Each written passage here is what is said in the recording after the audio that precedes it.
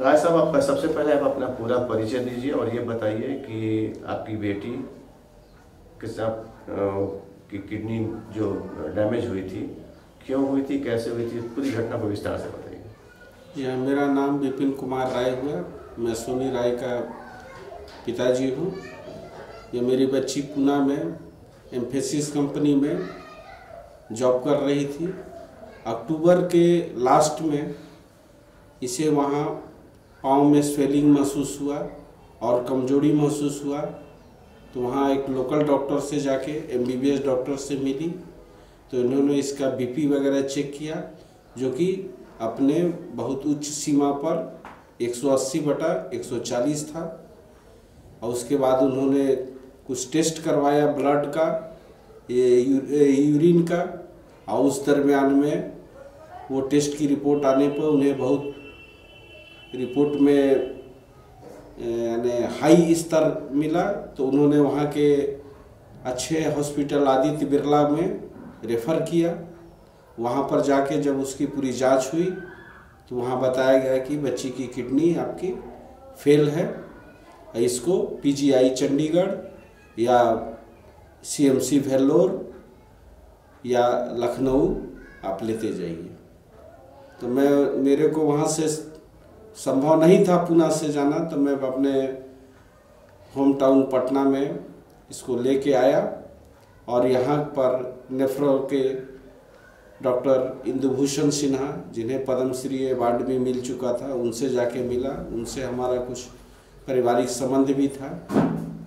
उन्होंने भी पूरी समुची इसकी जाँच कर, ये बताया कि बच्ची को ट्रांसप्लांट कराना पड़ेगा किडनी का। इसके लिए आप उचित वेल्लोर में रहेगा, आप वहाँ जाके।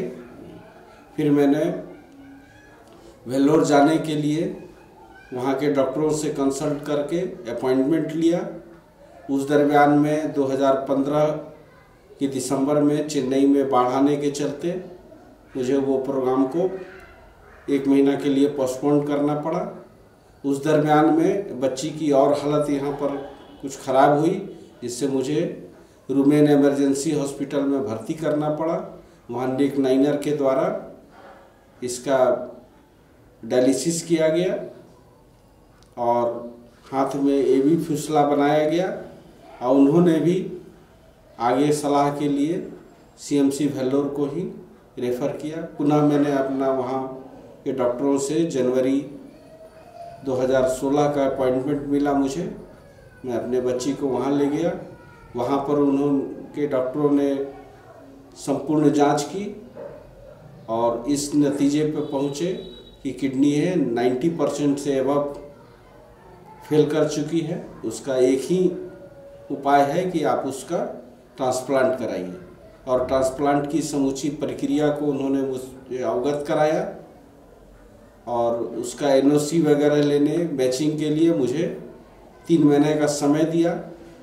इस दरमियान में आप जो है अपने स्टेट से एनओसी वगैरह लेकर, मैं पुनः पटना जनवरी इक्कीस को पहुँचा और मुझे अपनी बहन जो कि आरा में रहती है, उसके द्वारा डॉक्टर पी के ज्ञान जी का एड्रेस मिला और उनके बारे में जानकारी मिली कि किडनी के बहुत रोगियों का उन्होंने सफल इलाज किया है। मैं उनके पास पहुँचा उन्होंने मुझे समझाया कि भाई अंग्रेज़ी में इसका केवल ट्रांसप्लांट ही संभव है, लेकिन हमारे होम्योपैथी में इलाज है। मैं आपको श्योर कर रहा हूँ बच्ची के बारे में कि मैं इसको ठीक कर पाऊँगा। मेरी बच्ची का 28 जनवरी 2016 से डॉक्टर पी के ज्ञान जी के यहाँ इलाज चालू हुआ। और उस दरमियान में सीएमसी वेल्लोर के द्वारा जो रेफ़र की गई थी कि आपको हफ़्ता में तीन डायलिसिस लेनी है, लेकिन मैं कुछ आर्थिक कारणों की वजह से तीन डायलिसिस नहीं लेके, दो डायलिसिस ही ले पा रहा था, जो कि नालंदा मेडिकल कॉलेज में बी ब्राउन कंपनी और बिहार सरकार के सहयोग से वो डायलिसिस प्रोवाइड कराते हैं। वहाँ पर डायलिसिस, हफ़्ता में दो डायलिसिस, जनवरी 2000 मई 2006 तक 2016 तक चली। उसके बाद पुनः टेस्ट करने पर क्रिटनाइन बहुत कम आया। तो डॉक्टर पी के ज्ञान जी ने सलाह दिया कि अब आप डायलिसिस बंद कर सकते हैं, दवाई से ही बच्ची का ठीक हो रहा है। और मुझे भी और जाँच फर्दर कराई। तो उसमें बहुत सुधार हुआ और अभी बच्ची को बहुत सुधार है और वो अपनी स्वस्थ ज़िंदगी जी रही है।